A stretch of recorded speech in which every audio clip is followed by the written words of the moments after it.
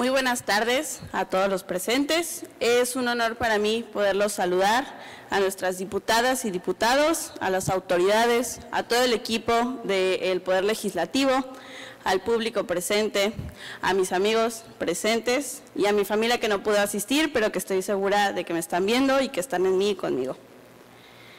Hay guerras que no han terminado en el mundo y una que se trata de ignorar es la que encabezamos todas las mujeres. Las mujeres y su eterna guerra por el reconocimiento de su plena existencia. ¿Por qué? 1955, la primera vez que una mujer en México tocaba una urna. Desde sus trincheras, las mujeres a lo largo de nuestra historia se han enfrentado al peor de los males del mundo, el pensamiento de que las mujeres no podemos y no merecemos.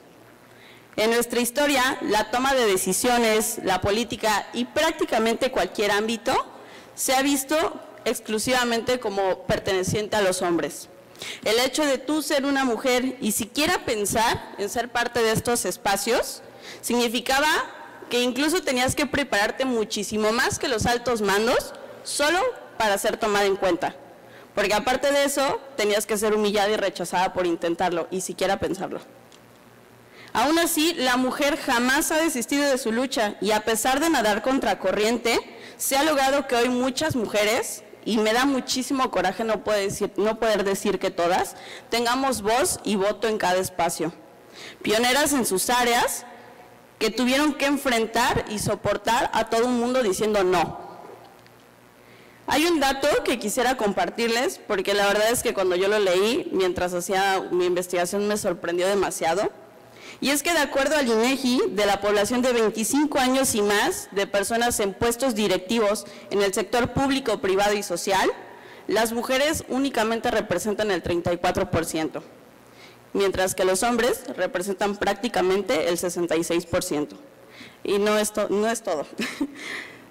A partir de los 45 años de edad, la brecha entre hombres y mujeres en este ámbito cada vez se hace más amplia. Increíble pero cierto, mientras más grande es una mujer, menos probabilidad de tener un puesto directivo tiene.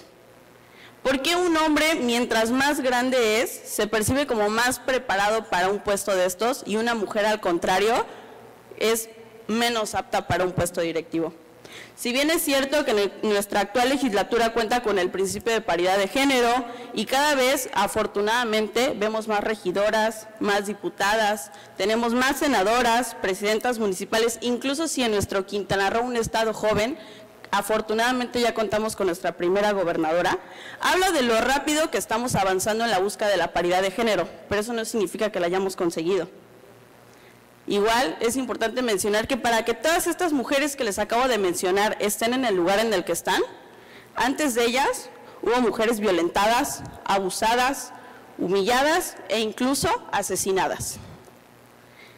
En México sigue existiendo el enorme estigma de las diferencias en cuestión de género que siguen permitiendo un país desigual y discriminatorio, donde ser mujer sigue siendo razón suficiente para que tú no puedas crecer académica, profesional, social, laboral y políticamente como quisieras.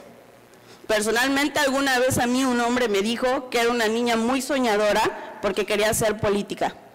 Y hoy, afortunadamente, estoy parada ante todos ustedes, demostrando que las mujeres sí podemos y que yo no solo soy esa niña soñadora, yo soy esa niña y esa mujer que mañana va a estar aquí parada como diputada, que mañana también va a estar parada como senadora y afortunadamente estoy segura que también voy a estar parada como gobernadora.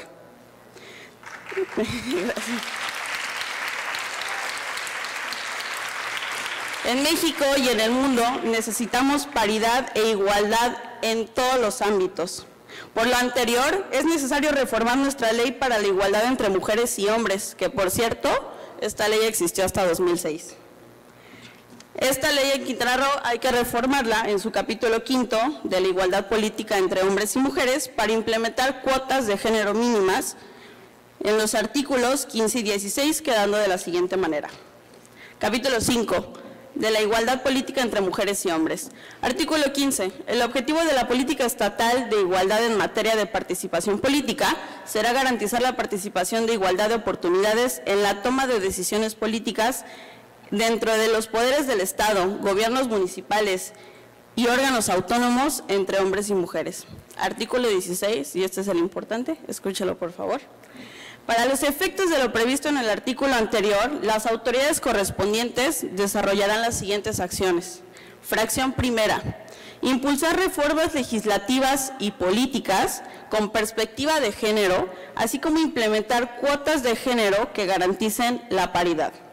Fracción segunda, garantizar la participación paritaria de hombres y mujeres en cargos públicos dentro de los poderes del Estado, gobiernos municipales, órganos autónomos, así como su, fomento en la iniciativa privada, a través de, inciso A, cuotas de género que establecerán, considerando cualquiera de los ámbitos contemplados en esta ley, un porcentaje de participación mínimo del 30% del mismo género y un límite del 70% de personas del mismo género. Todo esto a fin de garantizar el pleno desarrollo de igualdad de oportunidades de todas las mujeres y hombres del Estado de Quintana Roo. Esto va a lograr un Quintana Roo y un México mucho más justo, libre de violencia, discriminación y con más oportunidades para las mujeres.